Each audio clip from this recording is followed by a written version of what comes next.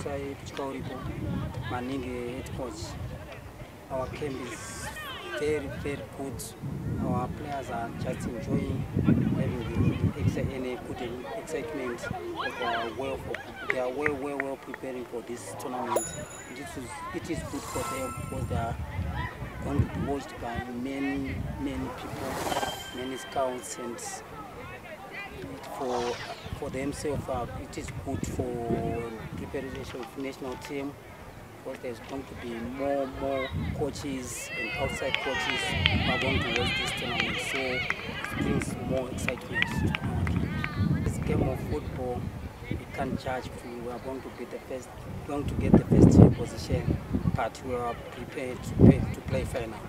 What I think about it.